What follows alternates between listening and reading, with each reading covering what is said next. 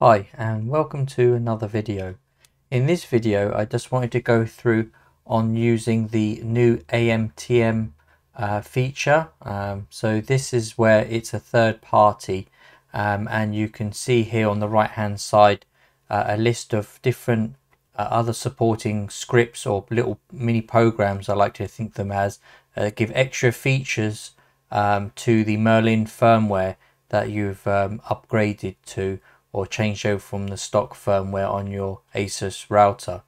Um, as you can see here, there's a few going down the list and again there's descriptions on each of them so I won't go into much detail but I just want to give you a quick example um, of how you can actually get this installed um, um, on your uh, Merlin um, router uh, Asus. So in this example I'm using my GTAX 11000 um, so this is within the um, web interface. So I'm using Chrome.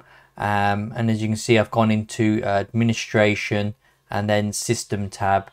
And as you can see here, you've got your, so you'll need to log in using um, something called uh, SSH client.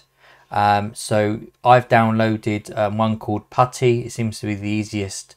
Um, and I'll put a link in the description as well where you can download it and it's quite a small little program and straightforward. So as we can see here, what we'll be needing is the username and password for our router. And before we get started, I'd advise that you perhaps, well, like I have done, is I've installed a um, USB uh, memory stick into the back of one of the uh, two USB ports on the router that on my particular router has. So that's a 32 gig and then I've also formatted it in uh, in compatible format and that's ext4 um, for this router um, so it recognizes it. Um, because some of these programs uh, what they call them here on scripts actually use the USB storage to store files and databases. So I would best before you do anything here is to plug in and get that formatted your USB um, drive as we can see here, as we said, we need your router login, your password, um, and what you'll need to do is enable this one here. So when I first got it, both of these were no. So what you'll need to do is enable this JA, uh, JFFS custom scripts and configs. So that just enables a partition. So you'll be able to um, install these custom scripts here as we see on the right hand side. Uh, once you've clicked on yes, you can hit the apply save settings at the bottom of this screen.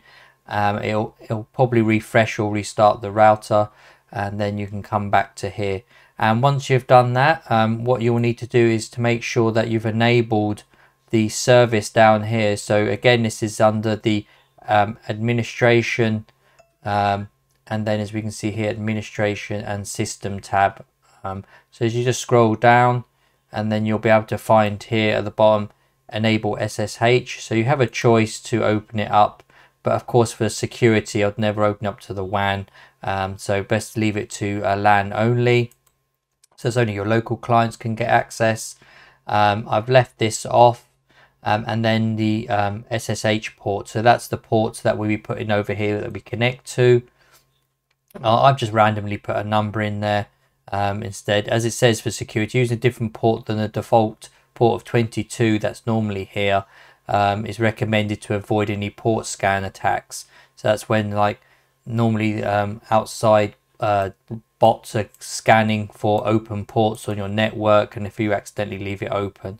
At least if you leave this on LAN only and you've changed this port, it reduces the risk um, of anyone getting in and everything else because this can get, um, if they've got your username and your router password, they can get into um, like uh, root access uh, on your router. So again, as we said here, um, I've got this is the default here and then an ideal uh, idle time of uh, 20 minutes. So you can disable it by putting zero in. And then once you hit apply, that will basically apply these settings. Um, just make sure you've got all these switched on. And as we said, so now we've got them information, we need to come over here and type it into our PuTTY so if we come over here, then we can type in the router's um, IP address. That's your internal one. So normally the default one is 192 168.50.1 and again that port number that we changed it to um, so that was this and again so you simple as that you just type that in and then you click open and as you can see here um, now it's asking for your login um, so I'll just quickly log in and we'll come back. So now I've logged into the router with my username and password um, and you can you see here that it now says uh, home and root and then um, so you can go into anything you want for command base. So as we're talking about this we want to add on some of these scripts here and particularly a script I'm looking at is Skynet. So that's like an extra fire uh, firewall so that you where you can block IP addresses uh, certain countries um, using geotagging and there's quite a few advanced features um, and then also block lists that you can download um, that they have as well. So as it says up here, this is currently from version 3 384.15. Um, AMTM is also included in the firmware now, so you don't need to install it or anything like that. And the current version, I believe, is uh, 386 point something. So I think it's uh, whether version you're downloading currently as of the 9th of April 2021 um, it will include this so all we're going to now is we have to it's quite straightforward just type in AMTM and you'll see the screen come up here so if I just so as you can see here it's got different features that you can do. So you can format disk and it tells you what letters you need to do. So we want to see all available scripts or tools. So I want to type I enter and then it'll give you a list as you can see here of options that you'd like to install. And as we said we're interested in Skynet uh, the uh, router firewall. So that's number two. So I just type two as you see, it's quite straightforward and they've made it really uh, user friendly. Even though you have to go through a command interface like this, um, I think they've tried to cater for people like ourselves uh, to make it as straightforward as possible. So you've got one for yes and E for exit. So I go for one. And as you can see here, now it's going through some kind of setup. So it'll first will ask you about, this is where I was talking about the uh, having a USB drive in um, actually connected to the router um, because it's important because this one will have a database and it or a swap file I think I believe that they call it. Um, so that needs to be stored somewhere and it needs to be stored on um, your actual USB drive. So as you can see here it will ask you please enter the partition. So I've only got one. You can see my 32 gig USB drive. So I just hit one. And it will say what type of traffic do you want to filter? And it also gives you recommendations. So I'll go with the recommendations. And it's saying here would you like to enable logging? And again recommendation is yes. And I think the point of logging is that at least you can see if any um, stats and monitoring of blocked IPs and, and where it's coming from and things like that. So that's a really good feature to have. And it's saying here um, would you like to enable mail uh, malware uh, blacklist auto updates and of course you would want the most frequent so it's one CS daily so you get the most up-to-date information for security and it's like would you like to enable weekly skynet updating of course uh, you want to keep the program up to date and then it's got here as well the Skynet auto update enable and schedule for 1.25 a.m. every Monday. So it's early in the morning. So um, best time and hopefully everyone's asleep or the, the routers get under less uh, uh, stress. So you've got um, here you've got a choice of one or two and I recommend two. So I've got a 32 gig in here, so that's fine. So I hit number two and you can see now it's creating the swap file so it's like a database where it's going to store all the lists and the updates and everything else where it'll uh, basically help filter out um, what's happening and everything else and block anything that's coming in or outbound uh, using your uh, router. So as we can see here why it's creating that, uh, you can see along here the um, the actual owner and you can, it will take you here if you click on the link it'll take you through to the uh, forum link as well. So it gives you more information um, things like that. So and again it's for all of these as well. So I will put a page um, URL in the description and you can have a look through to see if any of these are more relevant for you. Again there's some quite good ones um, for DNS um, so you can set up so, so you can set up um, TLS or SSL um, for your um, for your DNS um, and then also you can set up again some extra uh, guest Wi-Fi details so it's quite good. So as you can see here on the left hand side it's all updated and it's scrolled through and it's done.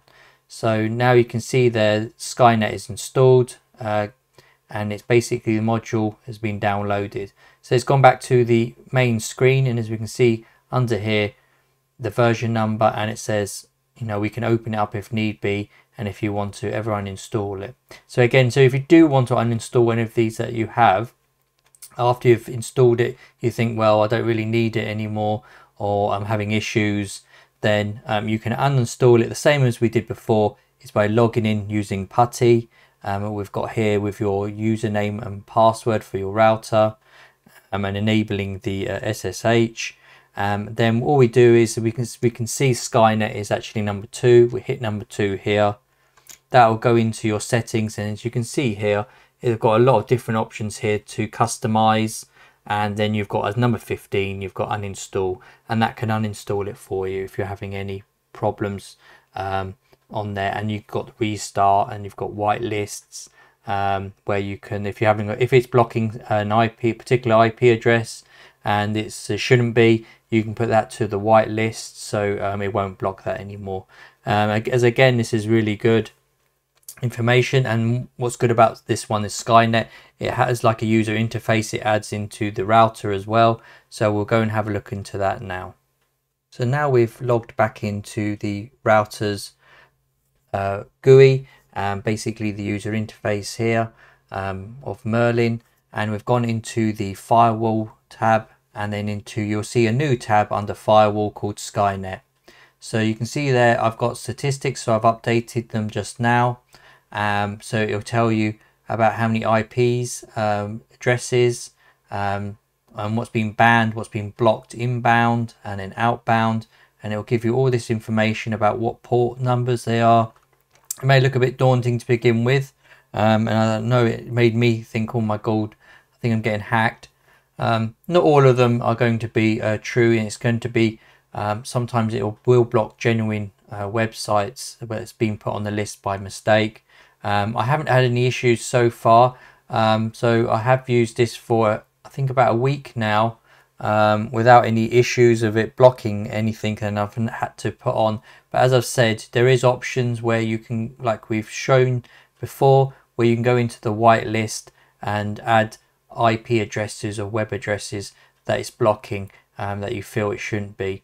Um, so as you see, it does offer you a lot of data and information um, as I've only just reinstalled this again, so it will only give you certain information, but it will take you to other websites um, where you can view details of uh, the IP address, um, the country um, that is blocked for inbound, and it believes that it's malicious, um, and things like that. And then the last 10 up here as well. So you can zoom in with uh, in and out of the graphs. Again, this is a lot of information here um, but again, I find um, security is quite good. I've not had any problems with it. Um, so yeah, it's been really good to be honest. And this one, what's good about this is that um, you can you can actually visually see any issues, and if you have do have any problems, again, like I showed you, you can uninstall it quite easily. There's another way you can look on to uh, the system log as well. So if we go to system log down here on our options, uh, you can see down here on uh, the on here where it's auto refreshing you can see where it says they're blocked inbound and you'll be able to see details of the IP address where it's coming from and uh, as you you can scroll to the right and it'll give you more information of the destination and everything else. So that's just been a quick video just to go through on how installing uh, new features or scripts uh, onto Merlin. And as you said, it's quite straightforward. A few of them will probably be a bit more um, complicated, but again, I advise you to have a look through here on the links and see which one are best that will suit for you. Um, as like I said, I've got Skynet and I think there's um, a few others that are quite good, but um, with DNS, um, and you can have a look. But anyway, thanks for watching, and I hope you found this useful. Have a good day.